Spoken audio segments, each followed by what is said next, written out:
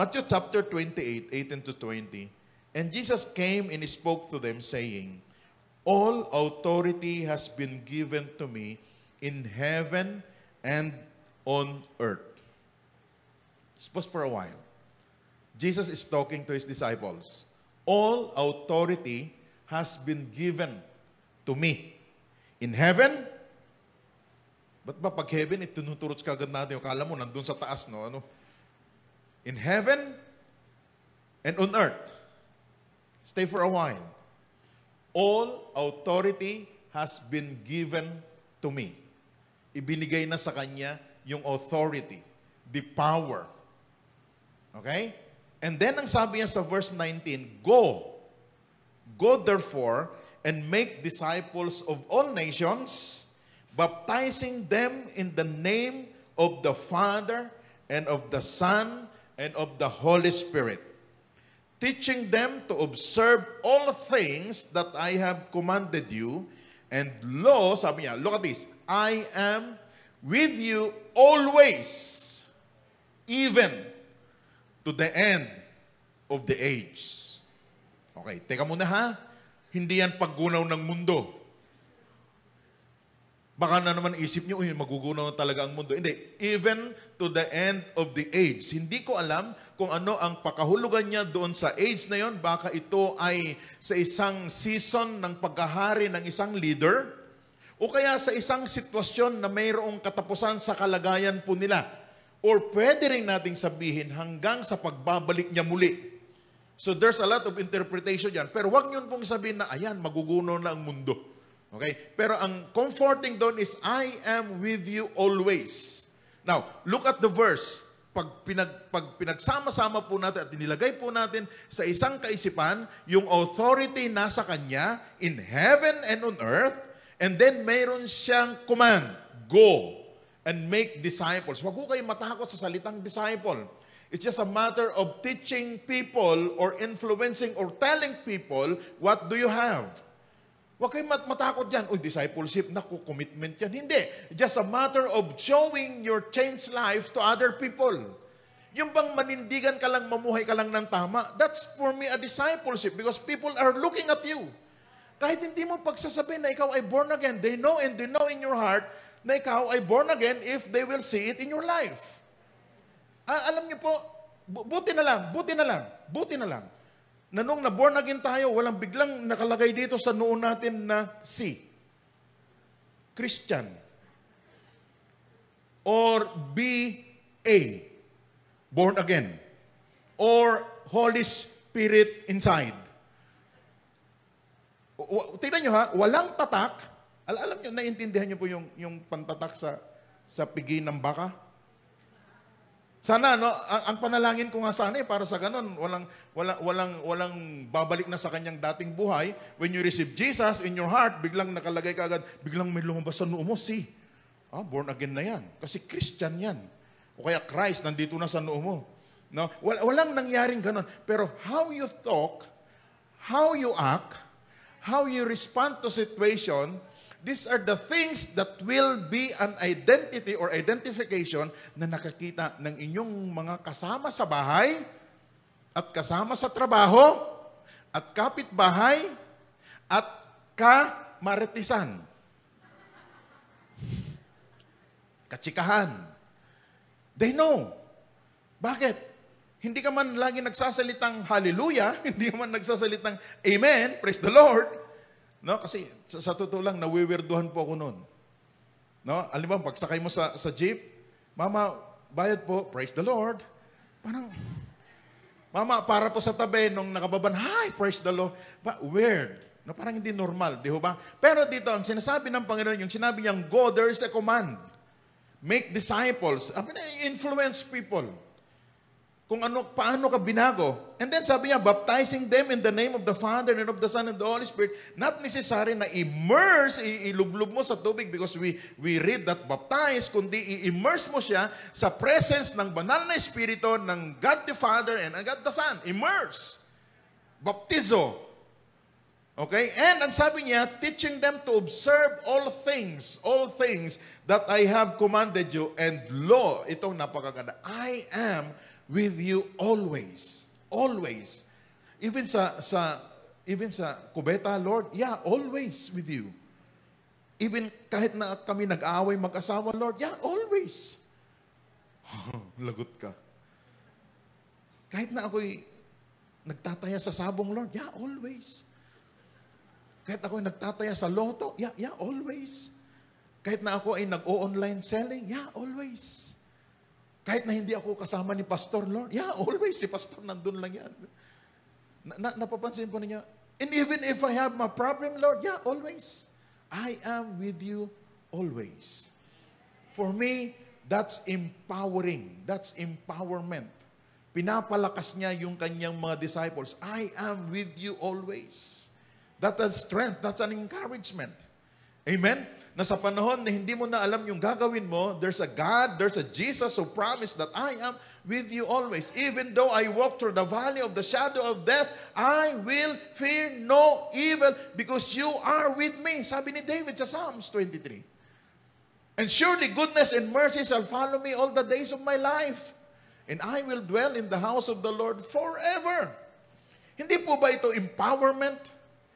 Of course, last Sunday, we talked about some definitions sa community work or social services ng empowerment ay hinahayaan mo yung tao na kung saan ay ma-maximize niya yung kanyang skills, yung kanyang potential at makakapag-decision siya sa kan mga concerns ng buhay niya and they can use, okay, maximize, use their resources. That's empowerment na base sa definition sa atin ng social work. Meron po akong isang nabasang article, pandagdag po sa ating definition, and I want to focus on individual thing.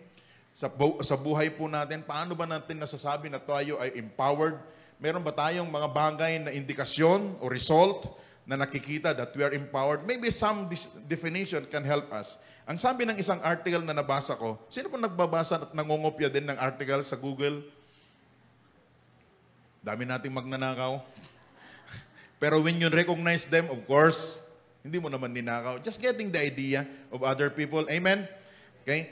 Sabi niya, sabi ng isang article, hindi ko na napansin ano yung pangalan niya, to feel empowered, sabi niya, or to act or speak in a manner that empowers is to promote the sense of self-efficacy within the restoration journey. Sino pong medyo na-touch, na, na, nakuha yung attention nyo yung salitang self-efficacy?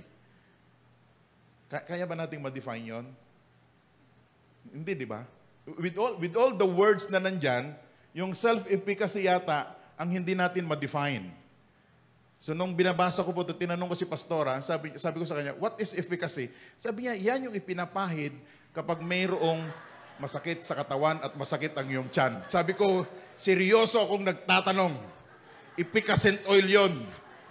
Kasintunog niya kasi.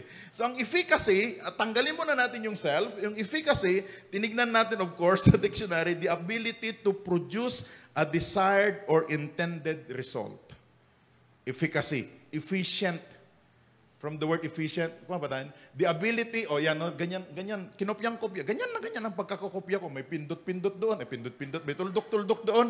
Okay, yan, ganyan na ganyan. Verbatim talaga yan. Okay, the ability to produce a desired or intended result. The ability. The ability to see what was intended. You desire, yung gusto mong makita. Yung gusto mong mangyari sa buhay mo. Yung, yung mga, kadal, mga, mga dalaga, ang gusto nilang mapangasawa ay tall, dark, and handsome. Kaya pag wala siyang nakitang tall, dark, and handsome, di baling tall na lang. O kaya di baling na lang dark. Never mind the edge. okay? Ngayon, it is the ability, the ability to produce what you desire or uh, produce a desired or intended result. Now, dagdag, dagdag pa ng author doon sa binabasa kong article, to see someone acting empowered is to see that person exhibit a sense of self-confidence in their ability to achieve the result of ongoing healthy choices. Healthy choices. Now, listen mga kapatid, bago natin puntahan yung self-efficacy na yun, baka kasi makalimutan ko ito. Kung ang sinasabi ng author na ito, na to see someone acting empowered is to see that person, that person, you you or even your wife or even your husband or even your child mga anak po natin, kung ito yung definition po ninyo ng empowered, to see that person exhibit sense of confidence, same sense of confidence, kumpiyansa, sa kanilang ability to achieve the result of ongoing healthy choices. Therefore, there are certain point of, life ng inyong mga anak na talagang magkakaroon sila ng decision to choose things for their own. Na- nasundan pa po natin? Okay. Wag na yung anak natin. Kayo, dumating sa level ng inyong buhay na you choose, na you decide. Sumagot po kayo para mas mabilis. Tama? Tama? Dumating sa punto ng buhay ninyo as, as early as 15 years old, 16, or babaan natin, as early as 12. Yung anak po ba ninyong 12 years old, yung babae may crush na? Yung mga nanay sabi, ay, ayaw kong tanggapin yan. Hindi, darating din sa puntong yon. Okay? Yung anak po ninyong 15 years old na lalaki, may crush na o may girlfriend na? O sige, wag na lang yon. Kailan kayo, kailan kayo unang tumibok ang puso ninyo? Anong 12? Kailan? Kailan nyo, kay, kailan, kailan nyo, kailan nyo napansin ang kalaro nyo na gusto ko siya, daddy? Kailan? Kailan? Kailan ninyo naramdaman na parang crush mo siya? Anong grade 6? Ha? Kailan? Kailan tumibok na yung nahihiya ka na kapag hindi ka naligo na pumasok sa school? Kailan? 12? Ayaw niyong alalahanin, bakit? Mas napaaga yata. 15. May crush na. Real talk. So, so ibig sabihin, dumaan kayo sa ganon. Pero bakit noong yung anak nyo na, kayo'y galit na galit? Nasaan doon ang empowerment? Payo ko lang, payo ko lang. Now I know, I'm 51. Okay? Now I know, I have, may, may anak akong 25 years old, may anak akong magto 20 na. Now I know and I realize na nung mga bata sila, grabe, kunting kamali lang, sita.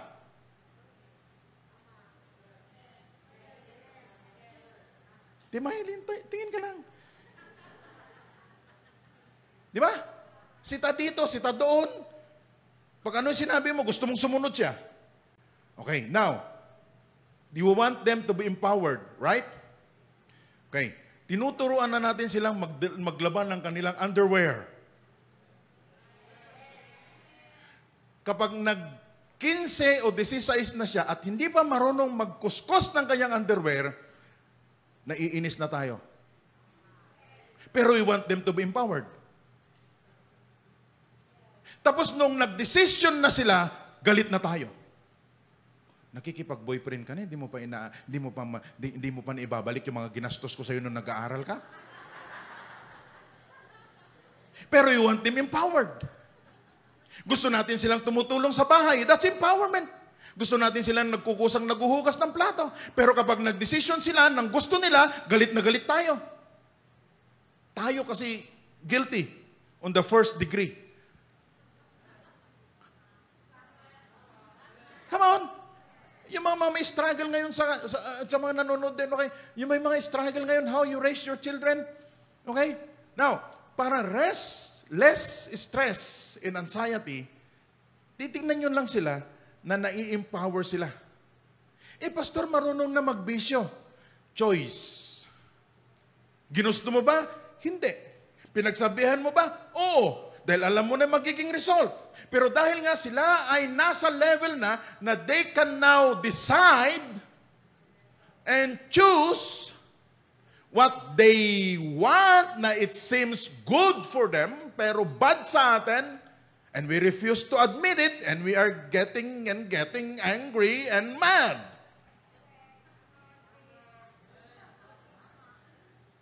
Mga kapatid, tatay ako, kaya alam ko itong sinasabi ko. Okay? Pag pinasok mo yung kwarto niya, dahil meron kang standard ng cleanliness, and orderliness. So kapag nagkalat yung gamit niya sa kwarto, because you have your standard na hindi mo nakita sa kwarto niya, nagagalit ka.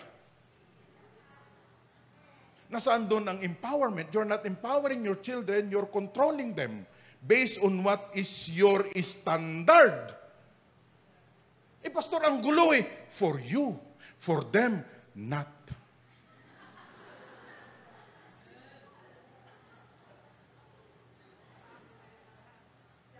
Marami hatang guilty.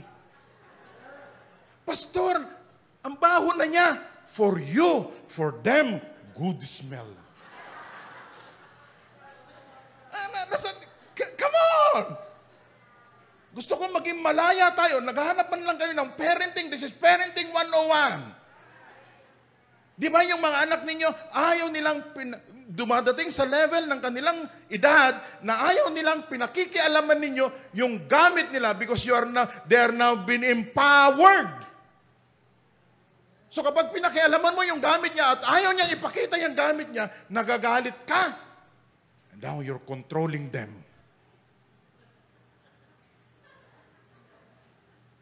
Sinasalungat ko ba ang pagpapalaki ng mga magulang sa inyo? Hindi.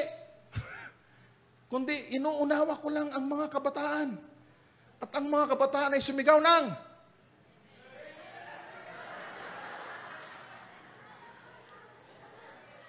Ba't nawala yung kabataan? Tama ba ako? Ruben, tama ba ako? Tama ba ako? Ma- Mikey, Mickey, Mikey? Mikey, tama ba ako? Na ayaw mong pinapakialaman ni Kuya Nap ang gamit mo. Kilala ko tatay niya eh. Kasi ini-empower natin sila eh. Pero pinipilit pa rin natin silang ibalik doon sa edad na hindi naman dapat sila ganon. Mukhang magandang usapan to. ngayon. Mukhang mamahalin ako ng inyong mga anak. Next Sunday, wala nang mga magulang mag-church, kundi ang mga kabataan na lahat ang laman ng church. Pero ang sinabi niya is the ability to achieve the result of ongoing healthy choices. So ibig sabihin, hindi naman kung ano-ano na lang. Yeah, medyo kakambyo tayo konti. Kaya, kaya pagpasok mo sa kwarto ng, ah, ng anak mo, chaos sa paningin mo, for them, that's order. Kaya sabi niya, ba't niyo ba kami pinapaki... Ba't niyo ba ako pina... Binigyan niyo ako ng kwarto to design for me, pero ang gusto mong disenyo, yun namang gusto ninyo. Binigyan mo pa ako ng kwarto. Tapos nilagyan niyo pa ng pintuan. Di wag niyo lang lagyan ng pintuan. Kung ini-invade nyo lang naman yung kanyang privacy. At gusto mong kalkalin kung anong nandoon. Alam niyo, yung ah, tata, tip, hayaan nyo lang yung kwarto niyang ganon. Kapag mayroon ng mga uod at mga langgam at mga ipis, they will clean. Magkukusa po yun. Kapag unti-unti nang naglalabasan ng mga ipis sa kwarto, ituturo mo na lang, saan galing kaya yan? At ang tingin na nila, oh, marumi na nga. Pero magkukusa sila. Lilinisin nila. Hindi mo inuutusan. Pero, aabutin yun ng isang buwan.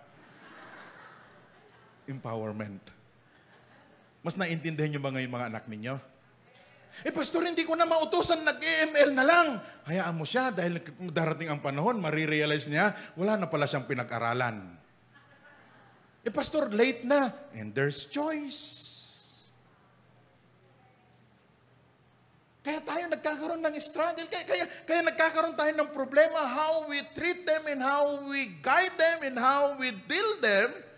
Because the standard that we want, gusto natin siyang makita sa kanila. Doktor ka anak, doktor ka anak, doktor ka. Eh kung naging konduktor, sa mga loob mo?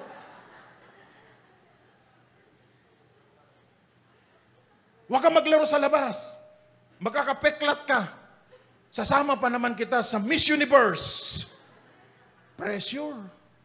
Hindi naman yun ganun ang empowerment. Ang empowerment ay hinahayaan mo yung bata na tignan, yung anak mo na tignan kung ano yung gusto nila and then you guide them to have a healthy choices. That's empowerment. Tapos nagagalit tayo, yung anak natin nakahilata na lang na ganun. Maghapon. Empowerment sa kanya yon. For you, it's laziness. No, for them, it's empowerment. Pag nakatulog na sila, aktibo na naman sila. Yun nga lang baliktad. Sa gabi, sila gising, sa umaga sila tulog. Tapos ang sasabihin mo naman, kami, kami, kami, kami noon. Hmm, dilim-dilim pa lang, nasa bukid na kami. Kaya sasagot na ka naman, kayo.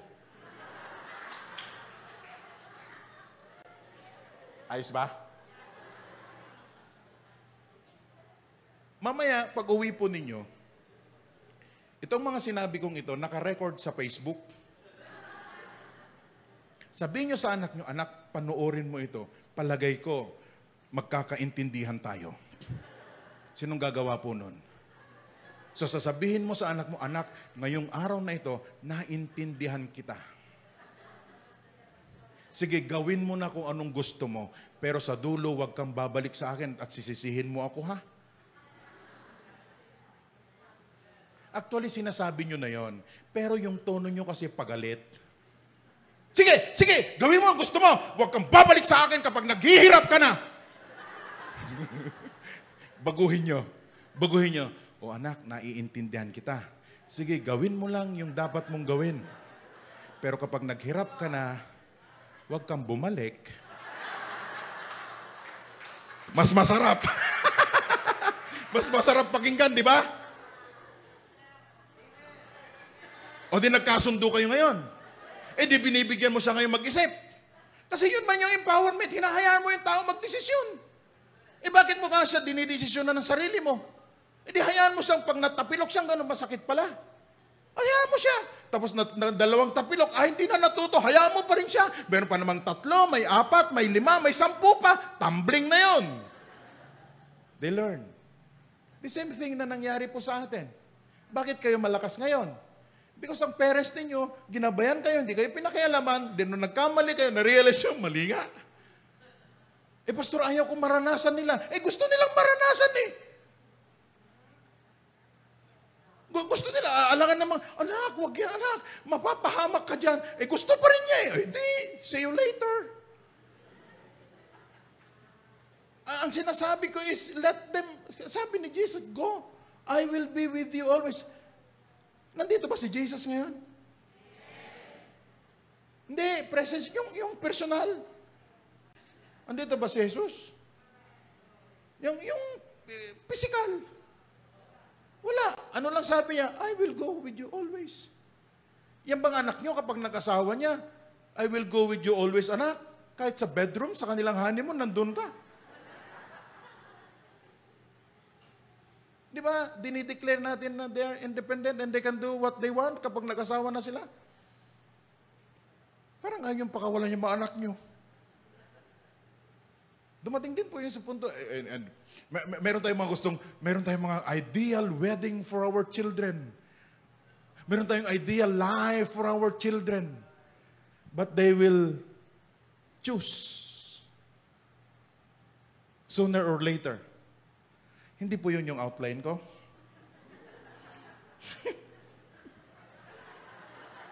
Introduction pa lang.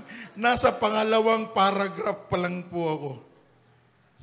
Self-efficacy, sabi ni Albert Bandura, isang psychologist, ito yung kanyang definition o ito yung kanyang pakahulugan, ito yung kanyang description ng self-efficacy is the belief in one's capabilities to organize, and execute, organize and execute the courses of action okay, required to manage prospective situations. Nagdudugtong ba doon sa aking litanya? Ito yung kanyang defi- definition ng self-efficacy. Okay, 'di ba ang efficacy is the ability to produce a desired or intended result. So kapag sinabi nating self-efficacy is the belief in one's capability. Naniniwala po ba kayo na kaya ng anak ninyong mag-apply ng trabaho pagdating ng araw?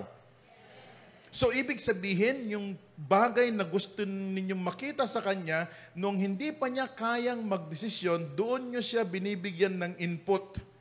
Sino po dito na sinamahan pa niya yung anak niya na mag-apply ng trabaho?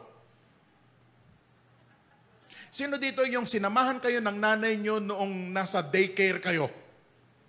Sino dito yung umiiyak nung pumasok siya sa kinder?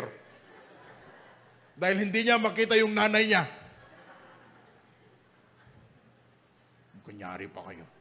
Sino dito yung nagpasama sa tatay niya na manligaw? Tay, samahan mo nga ako. Saan tayo pupunta? May liligawan lang ako. Tatadya ka ng tatay ko. Pambira ka. Doon na lang ako sa pamamanhikan, hindi sa panliligaw. Tama? Okay. That's Filipino thing. Pero sa ibang bansa, it's a very different thing.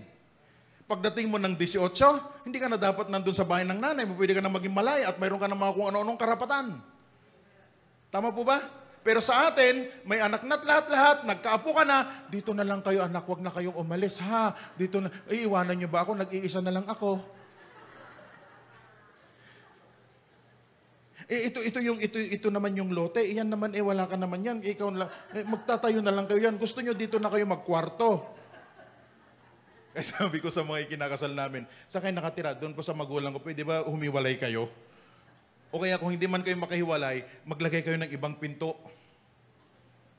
Oo nga naman, biro mo nasa isang room kayo ng bahay, tapos may asawa ka na. Pag mag-grocery ka, idadaan mo ba yan sa gitna ng mga kamag-anak mo, yung grocery nyo? Di ba itatago nyo yan? Tapos may, may supply ka dyan, Skyplex, at saka, ano, at saka Marie, uh, Marie ba yun? Di, uh, Fita, Marie. Sino nakakalam ng Marie? Oh, dami matatanda. Marie, Fita, oh, itatago mo yun, nakabox, di ba? Hindi nyo yun inilalabas, nandun lang sa kwarto ninyo. Kainin natin yan pag gabi na, yung mga tulog na sila. Pero nandun pa rin ka sa bahay. Ayaw namang humiwalay. Ayaw nyo na maglagay ng division at gumawa ng sarili ninyong pintuan. O tingnan nyo, kung nakalob kayo sa bahay. Di ba? Pag nasa loob kayo ng bahay, eh, kung kayo magbabanyo, daladala nyo yung, yung shampoo ninyo, pati sabon. Paglabas nyo sa banyo, bitbit nyo na naman. At ilalagay nyo sa ilalim ng kama. Kung mayroon kayong gustong pagkain, doon kayo sa kwarto, nagbubulong ang mag-asawa. Ito ka maingay, baka maamoy nila. Ang tawag po natin doon ay Filipino families. We love each other. Asan doon ang empowerment? To decide. Anong sabi dito? To execute. Tingnan nyo ha. The belief in one's capabilities to organize and execute the courses of action required to manage prospective situation. Dagdag pa ni, ni Albert Bandor, sabi niya, self-efficacy is a person's belief in his or her ability to succeed in a particular situation. These beliefs are determ- determin- as determinants of how people think, behave, and feel. Wow. Sige, mamaya na po natin tignan kung anong sinasabi ng Bible. When someone is feeling empowered, tandaan po natin, It means they felt enabled and motivated. Okay, take note ha. Okay, motivated towards a greater responsibility and authority in their own life to make healthy, oftentimes better choices. That's empowerment. Eh, pastor, paano pag nagkamali? Choice. Ginusto mo? Hindi. The same thing na nangyari sa iyo when you made a bad choice. Of course, yung asawa mo nga hindi bad choice.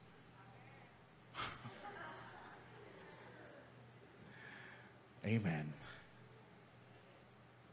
Parang ayaw nyo nang italakayin yung asawa. While this description of empowerment is true, there is more to be understood about what it really means to live the empowered lifestyle. Ibig sabihin, we need to look at what the Bible is telling us. Yung aking nililitanya dito is just a matter of experience, it's just a matter of situation na naranasan ko bilang tatay and observation ko sa pamilyang Pilipino. Sa inyong mga anak, sa mga ikino-confide sa amin, mga isinasangguni sa amin na mga karanasan, Those are just experiences na nararanasan natin. Pero ang tanong nga is this, why does God empower? Bakit ba tayo pinalalakas ng Panginoon? Bakit ba tayo, bakit ba niya sinabi sa kanyang mga disciples, go and make disciple? Bakit ba niya sinabi, I, I have the authority? Ang sabi niya doon sa verse, verse 18, all authority has been given to me. Bakit nga ba sinabi yun? And then meron siyang utos sa kanyang mga disciple. Ibig sabihin, ini-empower sila ng Panginoon. Why does God empower us? Because there is, number one, a task to fulfill. Napansin nyo? A task to fulfill and a goal to achieve. Balikan ko po yung salitang efficacy. The ability to produce a desired or intended result. Alam niyo po, lahat ng tao, karamihan sa mga tao, can identify goals. Ngayong taon, may goal kayo. Tama? Go, tapo. Meron kayong gustong ma-achieve ngayong taon. It's either double the income or promotion sa trabaho. Double income sa business or promotion sa trabaho. New projects. Goal. Now, ang problema is this, mga kapatid. They want to accomplish their goals. Tama. They want to accomplish their goals. Things they would like to change. May mga bagay kayong gustong baguhin. Meron kayong bagong mga bagay na gusto yung ayusin sa inyong mga ugali or even your character.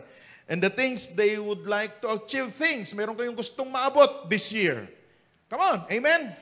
Meron kayong gustong makita. More projects, more business, more income. Mag-grow yung business. Come on. Gusto nyo yung position na yun sa iyong company? Gusto mong palitan yung presidente ng kumpanya? Gusto mo magsarili? Gusto mo magtayo ng sarili mong negosyo? Ang daming gusto nyong gawin. Ang dami nating gustong gawin. Ako, January 1 pa lang kung ano-ano na yung gusto kong gawin. Tama pa?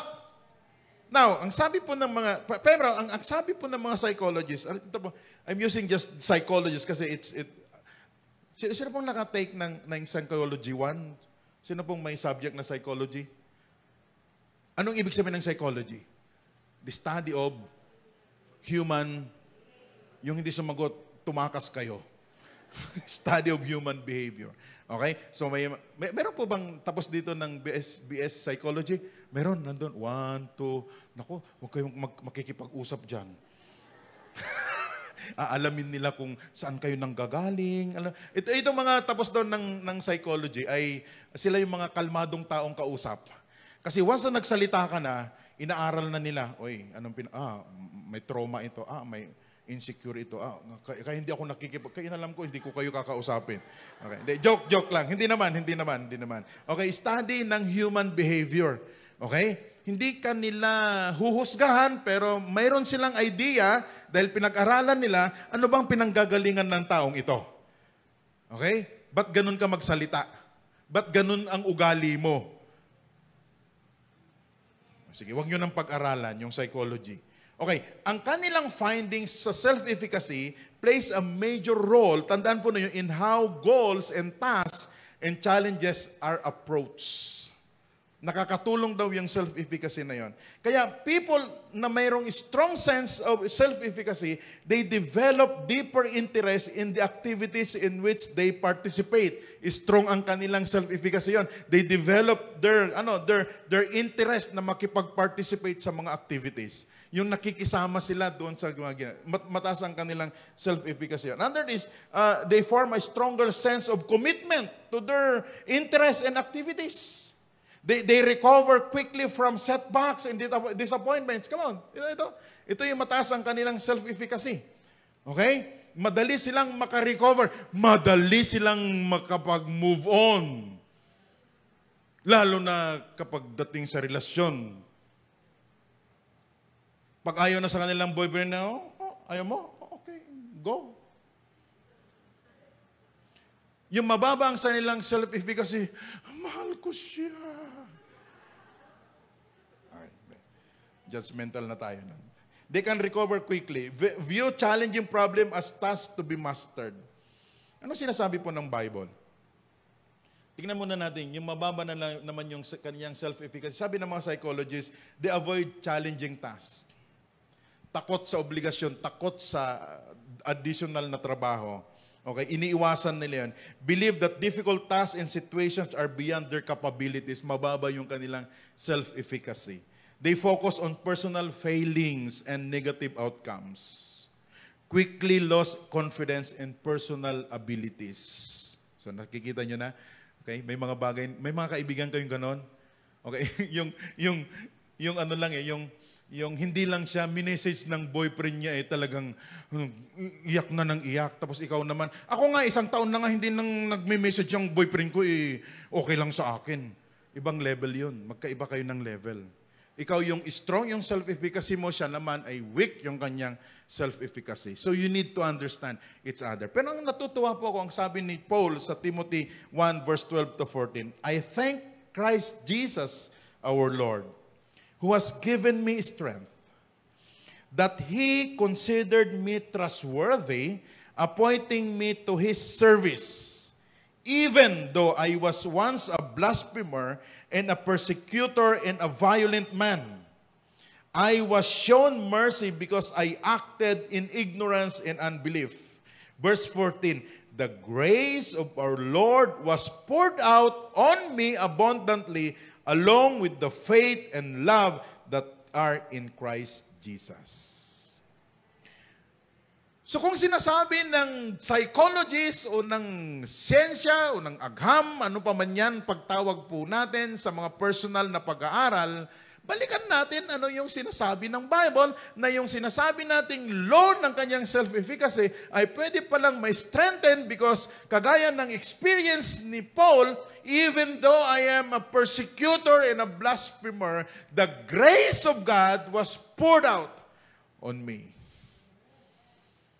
So even kahit na anong klaseng insecurity, eh, even sabihin mo, madali kang ma-offend, even sabihin mo, madali kang ma-discourage, madali kang ma-frustrate, when you have an encounter with the grace of God, your self-efficacy will become stronger and stronger. Bakit? Kasi yung strength is not from your own, the strength is coming from Jesus through His grace. Nakikilala mo ngayon yung sarili mo hindi sa pamagitan ng pag-aaral ng mga psychologists, kundi sa pamagitan ng salita ng Panginoon na idinideclare o pinapahayag sa iyo. Kaya nga ini-encourage natin ang bawat isa, hanapin mo ang sarili mo sa sinasabi ng Biblia, hindi sa sinasabi ng ibang tao. Kahit ganito yung conclusion ng mga psychologists, yes, they also lack on the wisdom of God. Lalo na kapag hindi kristyanong psychologists. They just depend kung ano na pag-aralan nila, kung ano nila inaaral yung behavior ng tao. Pero ano ba yung sinasabi ng salita ng Panginoon? Hindi nila minsan ini-include, hindi minsan nila isinasama kung ano yung grasya, ano yung biyaya ng Panginoon na nagkakaroon ka ng lakas because of the grace and the Spirit of God. For me, that's empowerment. We are empowered by God. Huwag mong sabihin, kasi ganito ako, pinalaki pastor, kaya ganito ako. Kasi ganito ako pinalaki pastor, kaya ganito ako nahaharap sa buhay. Ilang beses akong nasaktan pastor, kaya hindi mo naintindihan yung aking pinagdadaanan, kaya ganito ako humarap sa tao. Dahil ayaw kong maulitin mulit, masasaktan. Yan ang mga litanya natin. Hindi mo alam pastor, pasan-pasan ko ang daigdig. Buti na lang wala na yung mga palabas ngayon. Pero nakalimutan natin, yung grace ng Panginoon. The grace of our Lord was poured out on me, sabi ni Paul.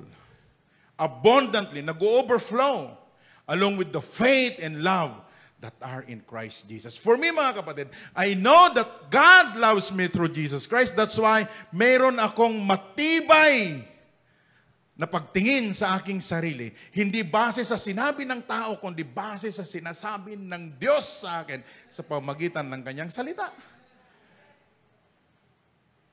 Totoo po yun, nasasaktan po tayo. Totoo po yun. Sometimes inaapakan nila yung ating pagkatao. Wala na nga tayong itinira sa ating sarili. Ibinigay na nga natin sa lahat. Diba? Yan. Tutuloy ko pa to, may iiyak na. Ganon ang pagtingin natin sa ating sarili minsan. Pero ang pagtingin natin sa Panginoon, yes, maraming factor. We give our lives to other people. Mga kapatid, hindi po yun kawalan. Yun ay pag, pag, pag, pagtatanim lang ng mga mabubuting bagay na sa, sa darating na panahon ay bibiyayaan din ng Panginoon. Kaya nga may mga, may mga tumanda na hindi na nila inatupag yung kanilang tinitibok ng kanilang mga puso. May mga drama natin, eh, no? Pero mga kapatid, God empowered us because there's a task to fulfill and a goal to achieve. Be strong. Amen? Meron kang dapat tapusin. yung kapitbahay nyo. Hindi yun ako yung joke. Meron kang dapat na marating. Meron kang dapat na gawin. Anong sabi ng Panginoon sa mga disciples? Go and make disciples. Go and make influence. Meron tayong gagawin. That's why you need to be empowered. Number two, an obstacle. We have an obstacle to face and a struggle to overcome. Mga kapatid, making disciples, other people, there, there are people na napaka-skeptic at napaka-antagonistic po sa inyo. Ang definition po natin kanina ng self-efficacy is this. Self-efficacy is the belief, kaya ni sinabi ni Albert Bandura, in one's capabilities to organize, tandaan po natin, to organize and execute the courses of action required to manage prospective situations. Ano sinasabi po ng Bible? Sa isang quotation na nakita ko, hindi po itong galing sa Bible, isang quotation na nabasa ko, ang sabi po niya, everything we do in our own strength, everything we do in our own strength wears us down, okay? Sisiraan lang tayo or mapapagod lang tayo. Everything we do through God's strength enables, encourages, strengthens, build us up. Yung strength na nanggagaling sa Panginoon. Anong sabi ng Philippians 4.13? I can do all things through Him, through Christ, who gives me strength. I think this is the verse kanina na ginawa namin ng kanta. Tataka po kayo siguro, si pastor hindi niya tinatanggal yon. Because I have my verse.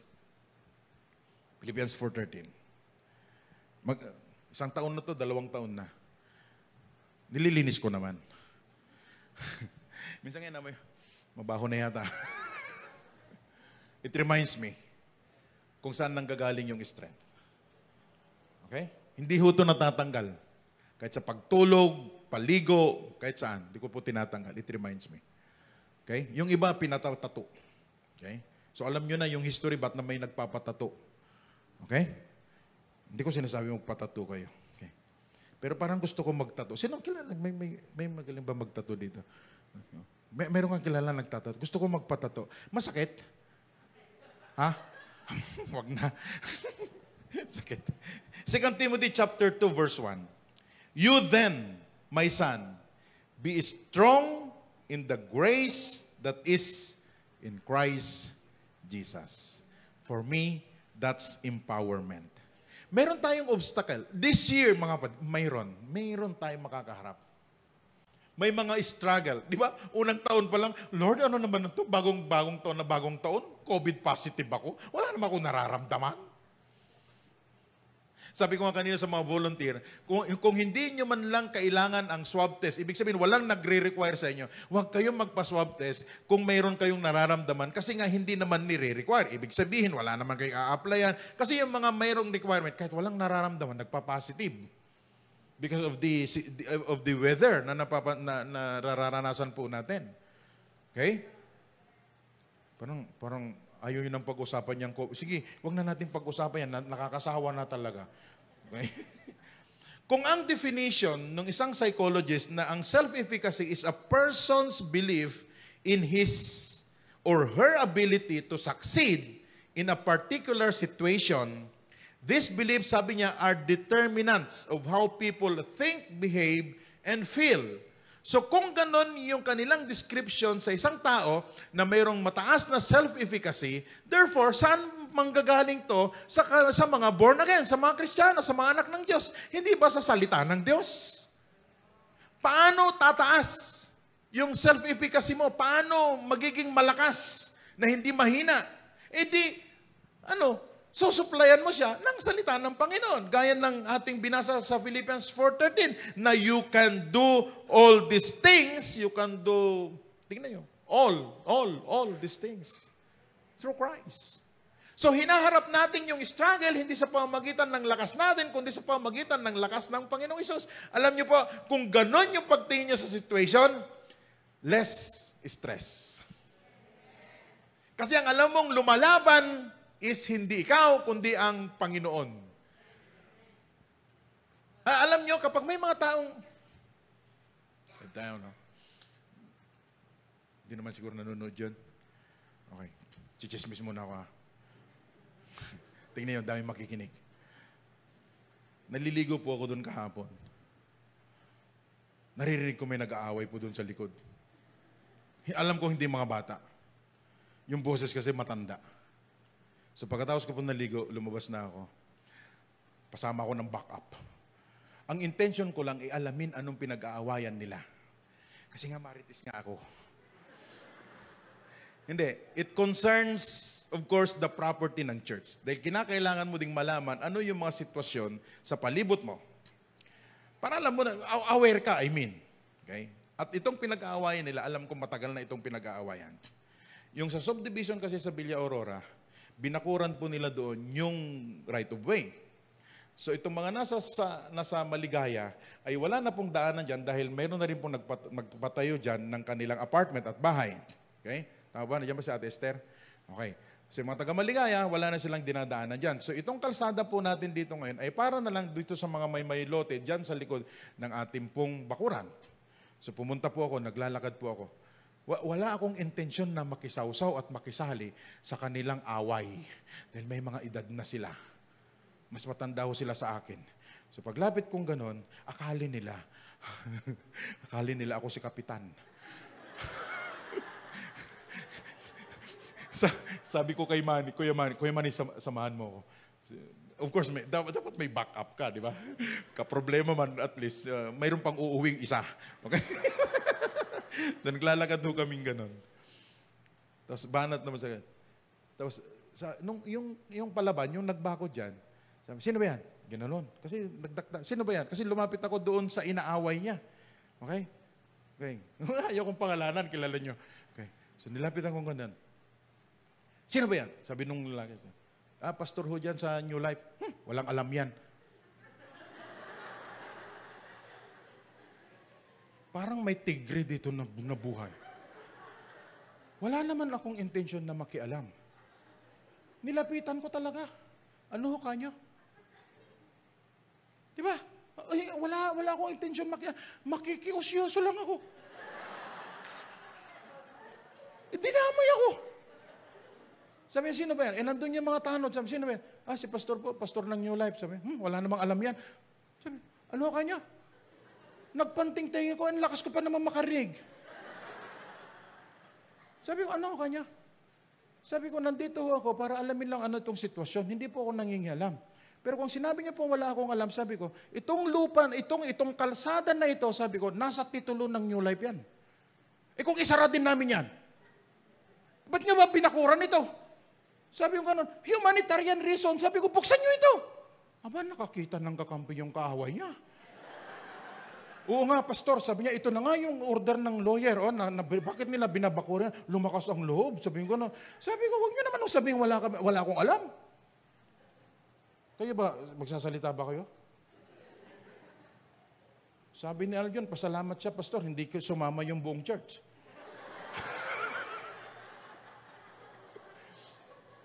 Wala na. Wala naman eh.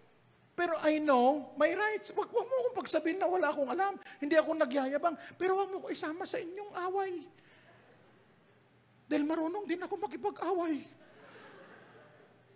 Na, napapansin ninyo, saan nyo gagamitin yung empowerment? Kung, kung mayroong struggle, kung mayroong concern, you need to overcome those struggle. Hindi ko sinasabing magiging lamya kayo at wala kayong sasabihin. Kasi parang ang akala natin, lalo na last week, ang ganda ng ating usapan sa devotion, anger. Devotion natin, three nights, pinag-usapan natin, gentleness. Ito si Pastor Roman, ni-remind pa niya ako, ang ganda ng topic natin, Pastor, ngayong linggo, sabi niya, gentleness. Oh, gentle ako. you know, you're right. Alam mo yung tama, you're, you, ayaw mo yung ganon. Ang dami nagsuffer dahil binakuran niya. Hindi naman nila kanila. Hindi kanila. Daanan yon. Kaya sabi ko, sa inyo ho ba ito? Hindi po. O hindi naman po pala eh. Ba't yung binakuran? O di nakakita ng kakampi, ay hindi naman ako yung kaaway doon, wala, nandito ho tayo. Sabi ko, pwede ho namin bakuran yan. Actually, pwede namin bakuran yan. E kawawa naman ho itong mga taong ito. But because of humanitarian reason, bilang tao, o, di ba, nag-agree kayo sa akin? Kayo ba, lalaban din kayo? sinishare ko lang po, sinishare ko lang, sinishare ko lang. Okay? So, my, my point is this. There are, there are concerns. There are obstacles. Tama? May struggles. If you know, and you know in your heart that you can do all things through Christ, you will overcome. Amen? Malalabanan mo kasi alam mo yung strength mo. Eh. Hindi, hindi sa personal mong lakas, kundi ito ay lakas na nanggagaling sa Diyos. For me, yung, yung, pwede naman ako manahimik eh, pero anong gagawin niya habang buhay na lang bang ganun? Eh kung ako po ang nakatira sa maligaya, ay talaga ho, iipunin ko yung mga tao dyan sa maligaya, papipirmahin ko sila. Hmm. Kung tayo maharangan dito, anong gagawin niyo?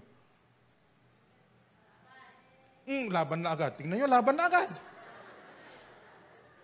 Makikipag-usap tayo.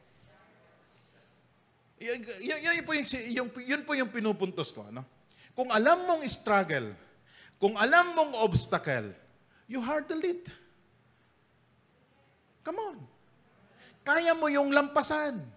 Because you are, you, you have the strength. And it is all by the grace of God. Alam niyo po, pag naintindihan niyo po yung grace ng Panginoon, biyaya ng Panginoon, it is actually a supernatural strength na ma-perform mo yung isang bagay and that is all by the grace of God. What you see now for new life, this is all the, by the grace of God. Hindi po ito kaya ng isang tao lang. Hindi ito kaya ng katalinuhan lang ng tao. We're in the world na makabili tayo ng worth 15 million na lupa. Grace yan ng Panginoon. Milagro yan ng Panginoon. So gamitin po natin yon na isang halimbawa na kapag ang grace ng Panginoon, na kapag ang favor ng Panginoon ay maranasan po natin mga kapatid, yung strength will become just not just an strength but it will be a supernatural strength.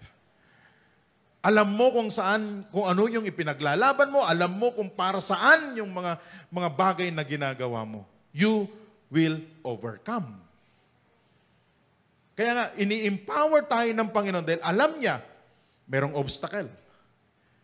Alam ng Diyos, may struggle. Hindi madali yung naging result ng kasalanan. Hindi yung madali. Ang, lahat ng hirap na dinadanas po natin is just the result of a sin. Ito ay resulta ng kasalanan. Ito ay bunga ng kasalanan. For the wages of sin is death.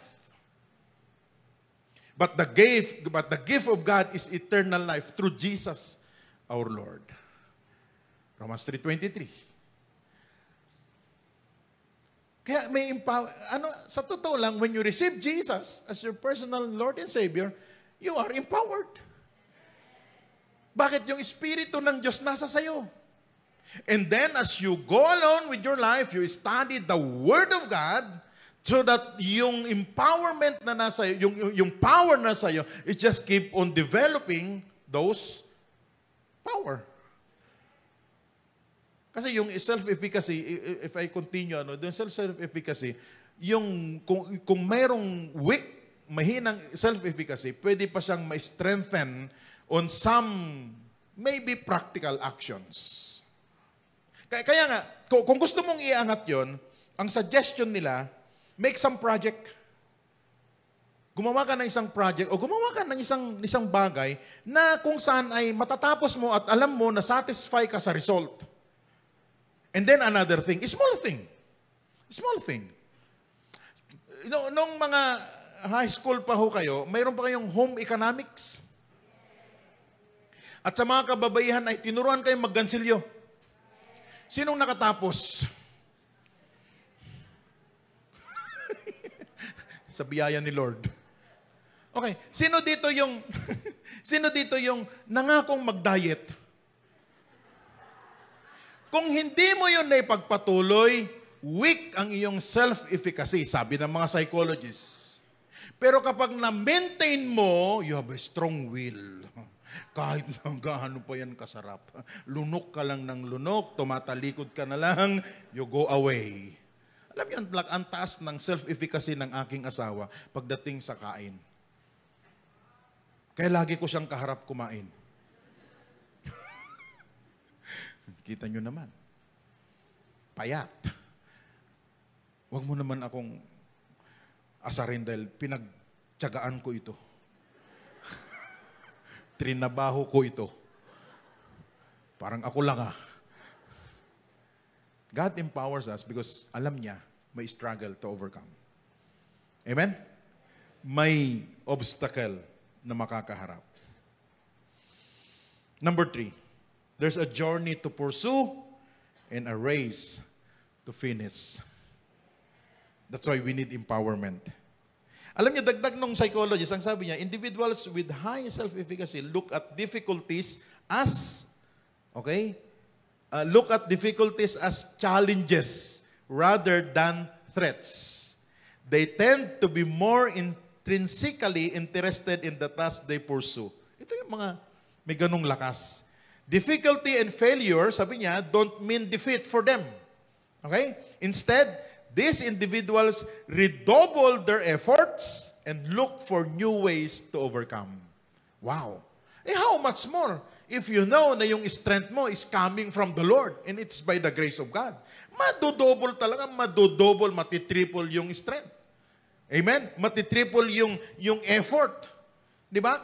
Kapag, kapag alam mo na ito ay ipinapagawa ng Diyos sa'yo, talagang you, you fight back and you are keep on what? Making yourself strong and strong. Amen? Now, ito yung example po ng malakas ng self-efficacy as we end ano. A man who is struggling to manage his, his, his illness but feels confident that he can get back on track and improve his health by working hard and following his doctor's recommendation. That's an example, yung taas yung efficacy mo. Okay? So, ibig sabihin, lalabanan ko. Tingnan niyo po, bakit may mga taong nakaka-recover sa kanilang karamdaman? Dahil ini-empower nila yung sarili nila, nasasabihin nila, kaya ko ito, mapaglabanan ko ito. Pero may mga taong hindi nakaka-recover sa karamdaman because they accept it na hanggang dito na lang ako. Okay? Sa mga estudyante naman daw who feels confident that she will be able or he will be able to learn the information and do well on a test. Linalaban niya. Ibig sabihin, na, na kondisyon niya yung kanyang isipan, nakakayanin ko ito at malalampasan ko itong examination na ito. Sa kababaihan naman daw who just accepted a job position in a role she has never performed before but feels that she has the ability to learn and perform her job well. So it's a matter of choice. Okay, now, in-empower tayo ng Panginoon. Anong sabi ko? Because there's a journey to pursue and a race to finish. Anong yung sabi ng Bible about that? Genesis chapter 12, verse 1 to 3. Now the Lord has said to Abram, look at this, get out of your country, from your family, and from your father's house. Sabi niya, get out. To, verse, verse 1 pa, to a land that I will show you. Walang clear description doon sa land. Anong sabi lang niya? To a land that I will show you. Kasi sabi niya sa verse 2, this is an empowerment, I will make you a great nation. I will bless you and make your name great. And you shall be what? A blessing. I will bless those who bless you, and I will curse him who curses you. And in all the families of the earth shall be blessed. Gusto ko yung verse 3. Kaya hindi ako gumaganti. Pwede ho ba sa, mula sa araw na ito, wag na kayong gumante? Pastor, para namang contradict. Kanina nga nakikipag-away ka doon sa kapitbahay. Ba't ngayon hindi ka na namang gumagante? Ibang usapan po yun. At ubang usapan po itong sinasabi kong pagganti. Sabi na, tingnan niyo po, I will bless those who bless you and I will curse him who curses you. So, ibig sabihin, may struggle, but we have, okay, a race to finish. So, diretso lang. Why? God is your backup. Amen? Romans 4, 20-21. Kinote siya ni Paul. Okay, ang sabi niya sa verse 20, Yet he did not waver. Si Abraham mo ito. Through unbelief regarding the promise of God. Si Abraham ang pinapatungkulan ni, ni, ni Paul. But was strengthened in his faith and gave glory to God. Verse 21, being fully persuaded that God had power to do what He had promised. So God empowers us. Bakit? Kasi mayroon tayong journey na ipagpapatuloy at mayroon tayong ano? Na kailangan tapusin. Ano ba yung race? Sa Ilocano, lumba. Sa Bisaya, lumba-lumba, iba ho yun. Natawa yung mga Cebuano. Okay?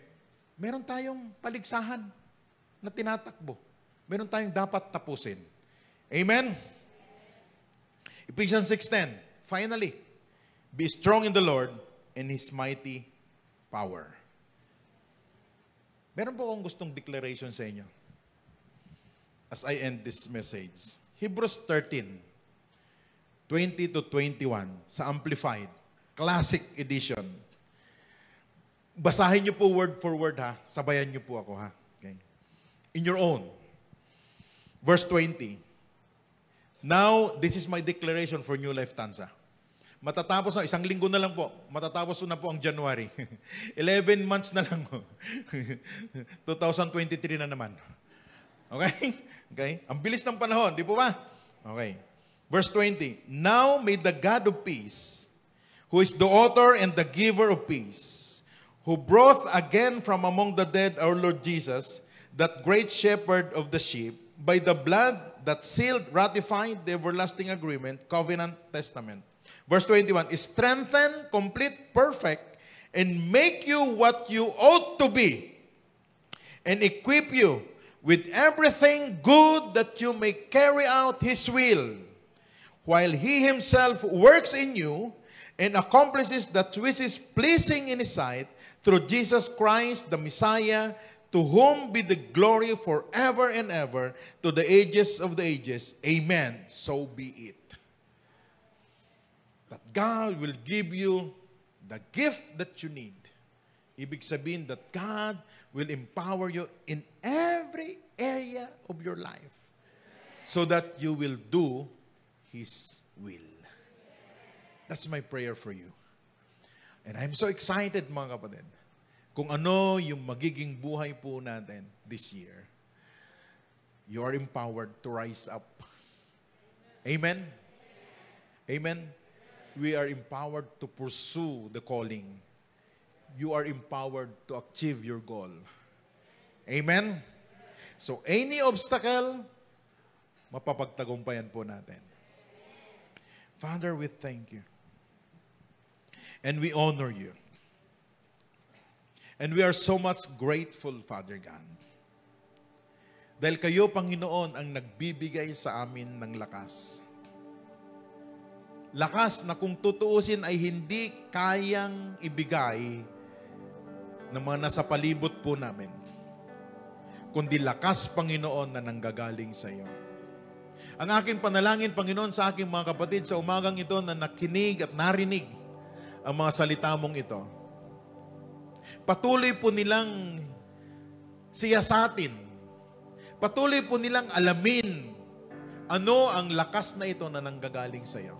Na hindi po sila kailanman magtiwala sa sarili po nilang lakas Bagkos ay magtiwala sila sa iyong biyaya. Salamat po, Panginoon. Salamat, salamat, salamat. Panginoon, alam ko po, ang taong ito ay higit na dakila.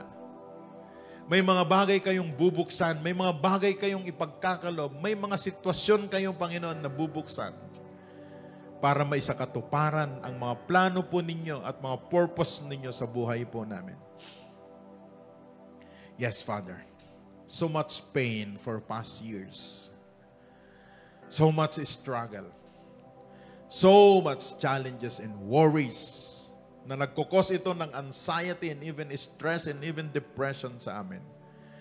na nagkukos, Panginoon, upang kami ay manghina. But today, Father God, today, Father God, we claim the strength na nanggagaling sa iyo.